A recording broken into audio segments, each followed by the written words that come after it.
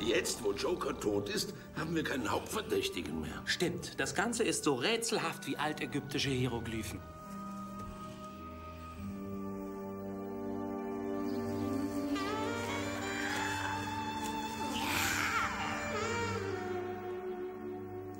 Blaubart, mir kommt da eine wahnsinnige Idee.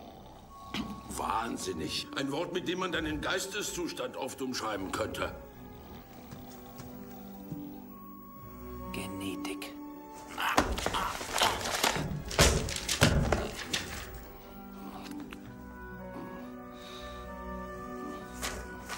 Die Vererbungslehre. Die Gesetzmäßigkeit der Vererbung wurde zuerst von dem Jesuitenpater Gregor Johann Mendel entdeckt. Wir werden rückgezüchtet. Wir werden was? Warum habe ich Volltrottel mich eigentlich nie gefragt, welches Weibchen die Mordopfer decken wollten? Ich hätte von vornherein auf meine Träume hören sollen. Mein erster Albtraum, der Mann ohne Gesicht, das war natürlich Präterius gewesen. Ohrenzeugin Felicitas entscheidende Worte. Aber ich konnte nichts Genaues verstehen. Nur sein Tonfall, der war so eindringlich, bedeutungsschwanger, als wollte er seine Gesprächspartner von etwas überzeugen. Der Mörder ist kein amoklaufender Irrer. Er wollte die armen Saschas und Purples überreden, davon abzulassen, meine scharfe Terrassenlady oder eine ihrer Geschlechtsgenossinnen zu decken. Denn wie sagte sie von sich? Wir sind nicht neu, sondern alt. Du meinst die Neuen im Revier, die Supermischpoke? Genau die. Da.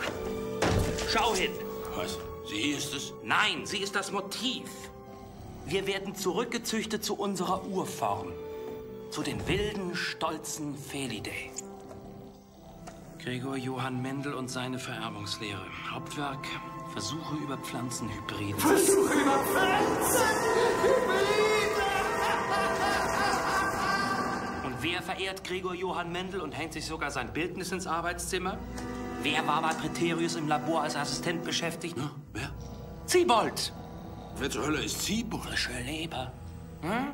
Klingelt da ein Glöckchen? Frische Leber, frische Leber, lass mich nachdenken. Keine Zeit zum Nachdenken. Los, komm.